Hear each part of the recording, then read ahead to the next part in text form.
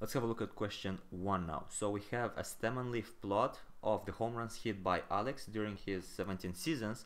Now here is the stem, here is the leaf, all the data in question one. We want to know whether the distribution is skewed to the right. So what's the intuition of a stem leaf? This is just representing data. We need to be able to read it.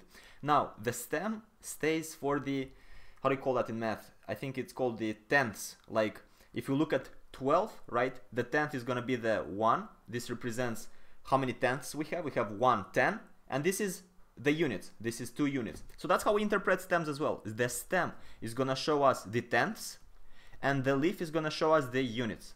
So with that said, let's see how we can read it.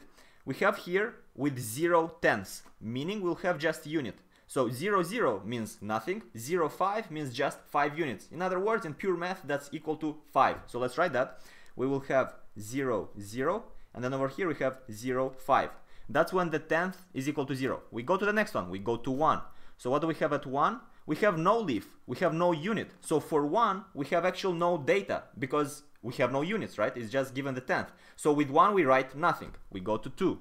Now we go to 2 over here. We have 2 tenths and then we have this unit. So let's write that.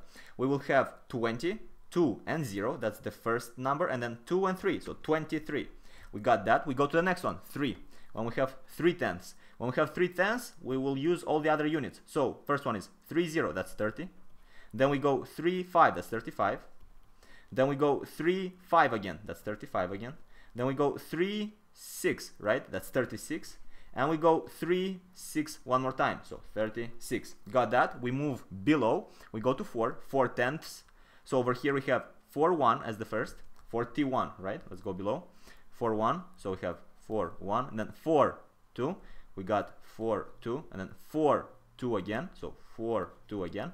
4, 7, that's 47. 4, 8, that's 48.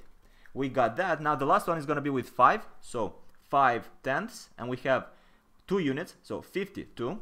We have 52 as the first, 54 as the second, 57 over here. So this is all the data and we want to know the distribution. So to know the distribution, we have to make a plot to see basically, uh, you know, what, uh, what is the most frequent data? Do we have bigger numbers or do we have smaller numbers? But we'll do that in the next video.